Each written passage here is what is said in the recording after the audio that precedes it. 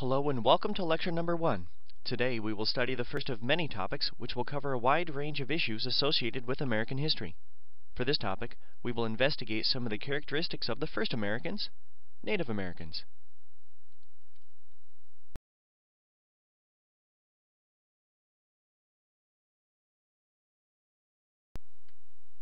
There are three primary themes to be addressed in this lecture.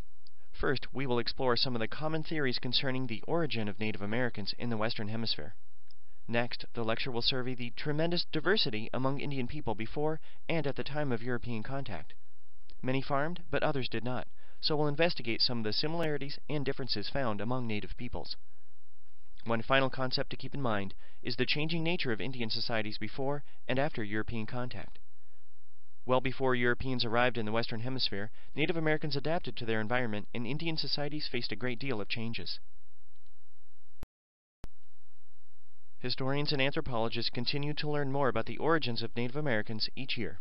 Some of those concepts will be discussed next. There are numerous theories and beliefs as to how Native Americans came to inhabit the Western Hemisphere. Some deal with religion and involve creation stories. However, many anthropologists and historians have other theories. Most believe that Native Americans lived in North America about 35,000 years ago. Just as other European colonists traveled here or migrated here, so too did Native Americans. They arrived via what came to be known as the Bering Land Bridge. The arrow on this map indicates where the Bering Land Bridge would have existed. It was there because the Earth experienced cooling trends and sea levels dropped between 250 and 300 feet. As the sea levels dropped, the area between what is now Alaska and Russia were actually connected by land. There would have been an ice-free corridor over which humans could have traveled. Specialists theorized these migrations would have taken place over many, many years as people migrated southward and eastward, probably in search of food. In addition to these theories offered by historians and anthropologists, different Native Americans had their own beliefs concerning their early roots. In many cases, rather than a story of migration, oral traditions place the origins of Indian peoples in the Western Hemisphere rather than somewhere else. If you're interested in learning more about these oral traditions, you may click on the hyperlink below. One of the most important traits concerning Native Americans would be the tremendous regional diversity among different American Indian groups. It would be difficult to describe life in detail for all Indian people living in what became the United States. However, for now, we'll briefly describe how some Mesoamerican civilizations impacted native peoples who eventually lived in North America. The colors included in this map identify the different culture areas into which anthropologists have divided different Native American groups as of about 1500 AD. Notice the many different classifications used in the map.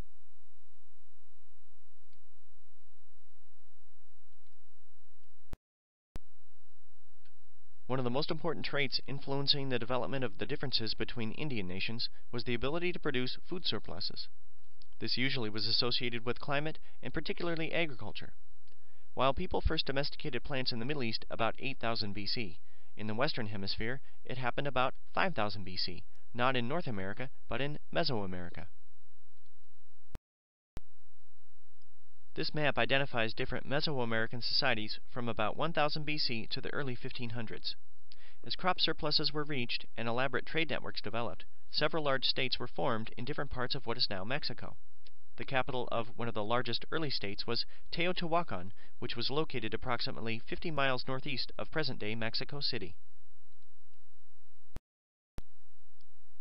Teotihuacan was founded about 300 BC. At its height it boasted a population of approximately 100,000.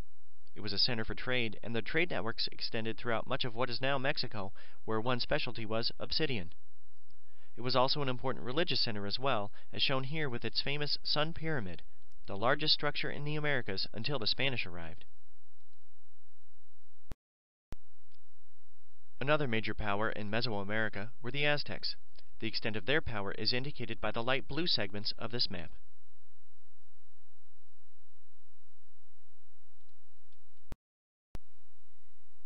The Aztecs migrated from the north in the late 13th century and became a dominant power by the 1400s as they forced the people they conquered to pay large tributes. It's believed that approximately 300,000 people lived in the capital city of Tenochtitlan by the 15 teens, more than any city in Europe at that time. Here we see a drawing which depicts Tenochtitlan about 1519 at the height of Aztec civilization. It shows the great temple surrounded by several smaller pyramids. The Aztecs honored about 200 different deities. An elaborate irrigation system was established to drain marshlands, allowing farmers access to rich soil to produce crops for the huge population of the city. The drainage system also allowed for access to fresh water. At the time of the Spanish arrival, they were still expanding their empire in what is now Mexico. Now that we've explored some of the important Mesoamerican societies, we'll move northward, to what is now referred to as the Southwest. As we do so, we'll focus on traits of several Native American groups at or immediately before the time of European contact. The southwest is indicated by the brown segment of this map, which includes parts of what is now the American Southwest, as well as portions of modern-day northern Mexico.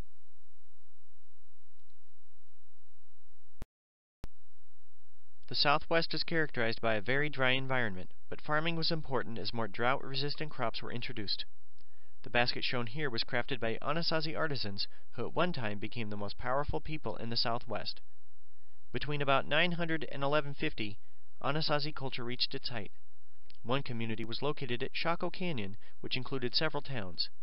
The region specialized in processing turquoise and became a major center for trade as it was located at the juncture of several road networks.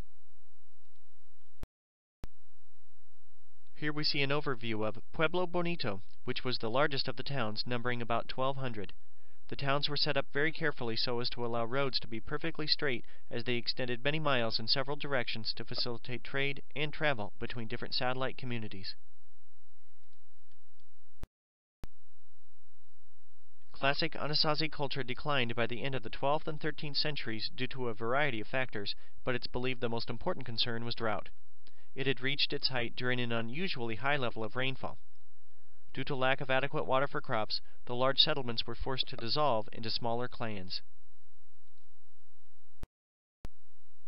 Now we'll move farther east and explore the eastern woodlands.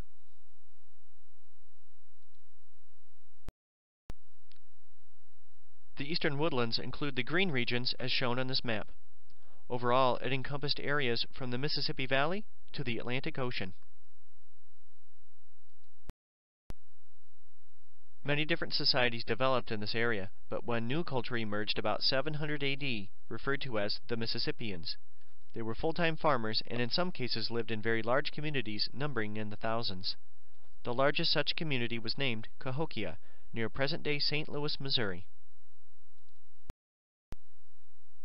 Cahokia was located on rich farmland and included a very large area, about 125 square miles, and about 20,000 residents. They were famous for their large platform mounds surrounded by other religious temples and homes for chiefs. This painting conveys the grand scale of Cahokia. After 1200, Cahokia entered a period of decline as archaeologists believe a changing climate and an overtaxed environment led to a shortage of food and other resources. However, not until the 18th century would a North American city surpass the population of this metropolitan area. Now, we'll explore another Indian group located in the eastern woodlands, but here we'll study a group as it lived at or about the time of European contact. The group to be studied were members of a confederacy of Indian tribes named the Iroquois. The Iroquois lived in the circled section of this map, essentially in parts of what is now western New York and Pennsylvania. The Iroquois included a unique political organization, they were not one Indian tribe, but in fact a confederation of five different tribes which included the Mohawk, Oneida, Onondaga, Cayuga, and Seneca. In 1600 it's estimated they numbered about 10,000. According to Iroquois legend, this confederation began before European contact with the actions of a Mohawk sachem named Hiawatha. Prior to the creation of the Confederation, there had been a great deal of warfare among the Indian tribes of the region, and Hiawatha had lost several family members. After several days of fasting in the woods, he received a vision and was later able to develop a plan to eliminate the vengeance which was common when a family member died in combat. He also developed a plan which called for cooperation among the different Indian nations rather than conflict. Eventually, this made the Iroquois one of the strongest and most feared Indian groups in the eastern woodlands at the time of European contact. For more information about Hiawatha, you can click on the hyperlink below. Politically, the Iroquois made decisions using a council form of government. Delegates from each of the Indian tribes in the Confederacy attended council meetings to discuss issues until a consensus could be reached. The homes they lived in were longhouses. They were often about 25 feet in width, but could range up to 200 feet in length. Several families would live under the roof of one longhouse. This photo shows a partial reconstruction of an Iroquois town from the 16th century. Iroquois towns usually consisted of several rows of longhouses surrounded by a defensive wall. These were strong, weather-resistant living quarters, which included as many as three to five fireplaces to keep families inside warm on cold winter days. Baskets, pots, pelts, and food were also stored inside the longhouse. Several other traits were common among the Iroquois. Property was owned communally.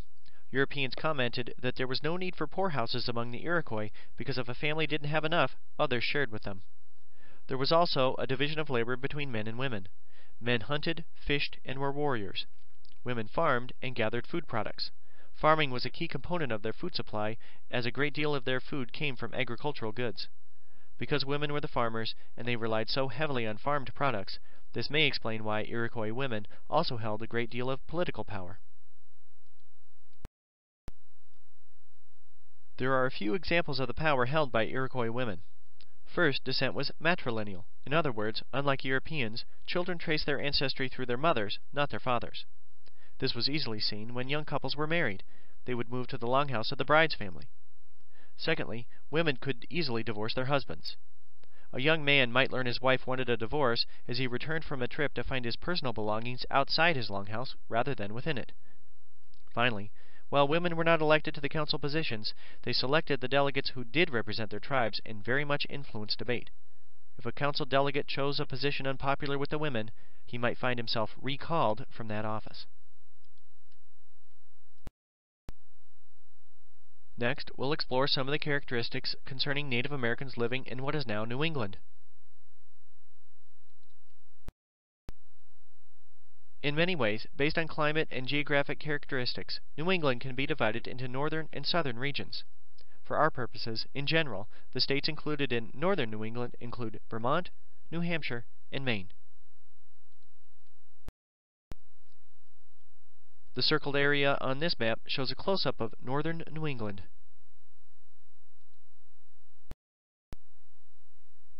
Indians living in northern New England lived exclusively as hunters and gatherers. This made life difficult because they were unable to preserve as much food throughout the year. To compensate, they practiced mobility. In the spring and summer months, they often lived in villages near the coastlines and relied on seafood to make up a large portion of their diet. In the fall and winter, they broke into smaller family units and moved to the interior where they depended more on hunting beaver and other larger game animals for food and pelts. They simply accepted the possibility that by late spring there may not be as much to eat as gathering food became more difficult and game animals became more scarce. Because they didn't have as much food, their numbers were smaller than those of their neighbors to the south. It's estimated the population of Native Americans living in northern New England was 15 to 20,000 in 1600. Indians living in southern New England lived in the area circled on this map. The present day states of Massachusetts, Connecticut, and Rhode Island.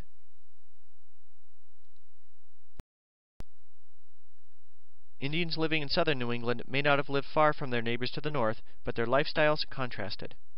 Instead of living strictly as hunters and gatherers, they also farmed. At times, over half of their diet came from farmed goods. This allowed them to store food for longer periods of time, so they didn't experience the starving times which often plagued Indians to the north in the late winter and early spring. Overall, even though the amount of territory included in both northern and southern New England were approximately the same, their numbers were larger than those who lived farther to the north, as you can see with these comparative population statistics. Farming practices among Native Americans living in southern New England and in other parts of North America differed from those employed by Europeans. In order to plant crops, fields needed to be cleared. Often, this was done by women who girdled trees and set fire to wood around the base of the trees to bring them down. In some instances, large areas of forested land were manipulated by the use of fire. On the side, you see an illustration depicting the so-called Three Sisters of Native American agriculture, corn, beans, and squash. Usually, they were planted together in the same fields. This actually had many added benefits. Corn drew nutrients, like nitrogen from the soil, as beans added nitrogen. While this helped to delay soil exhaustion to some extent, by clearing fields for agriculture and planting specific crops, Indians in southern New England had a major impact on their environment. Next, we'll focus on another American Indian group. These will be Native Americans living along the Pacific Northwest coast. The area to be discussed began in southern Alaska, spreading along the west coast of British Columbia in both Washington and Oregon, all the way down to northern California. The first trait to be addressed is the fact that Pacific Northwest Coast Indians lived exclusively as hunters and gatherers. They didn't farm to obtain their food. Usually, if this was the case, people would have to work incredibly hard just to survive. However, there was such an abundance of food sources in the region that Pacific Northwest Coast Indians were incredibly wealthy compared to other Native Americans. For additional information about Indians of the Pacific Northwest Coast, you may click on the hyperlink below to a website sponsored by the University of Washington. One item contributing to this tremendous wealth would be the easy access to timber as a resource. Cedar trees in particular grew to tremendous sizes along the northwest coast, and they added a great deal to the Indians' technology. These trees could often reach 250 feet in height while achieving a diameter of 18 feet. There were multiple uses of both the bark and lumber included in the tree. Bark was often used to make baskets and clothing. When soaked in water for a period of time, the bark would become quite soft, and babies often wore diapers made from the bark of these cedar trees.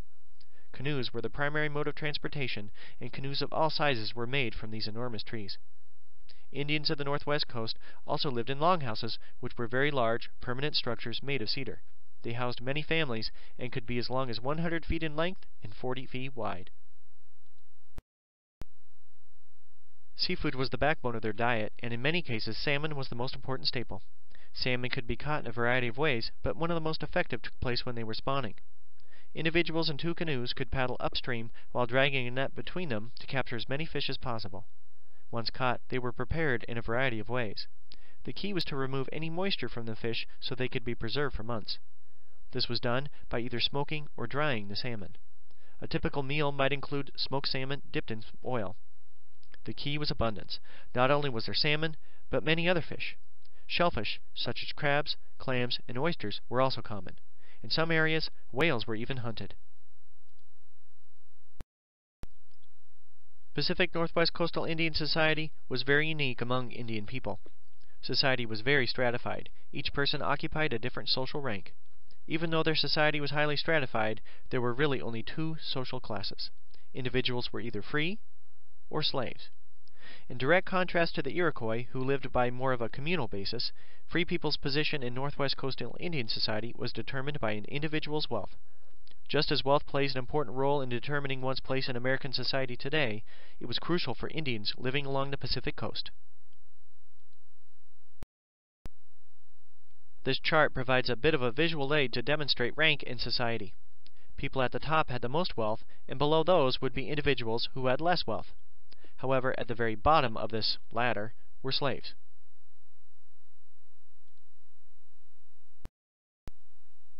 Occupation could also impact one's position in society. For example, among the whalers who lived along the Washington Peninsula, if an individual held a special skill, such as a harpooner, which was very prestigious, this could raise one's rank in society. This lecture has covered a wide range of subjects addressing Native Americans it might be nice to review some of the most important concepts included. One important concept discussed in this lecture was the origin of native peoples in the Western Hemisphere. Beginning about 35,000 BC, humans slowly migrated to different regions in the Americas over a series of years. By the time of European contact, there was tremendous diversity among native peoples living in the area. Some farmed, while others did not, but access to local resources was important, just as it is today. Overall, you may want to be able to compare and contrast life for different Indians living in the Western Hemisphere and describe the important traits which differentiated these groups. Well, this completes lecture number one. I hope you learned something new today. The next few slides will identify some websites where you can find additional information concerning the subject, as well as some of the sources used to create this presentation. Have a great day.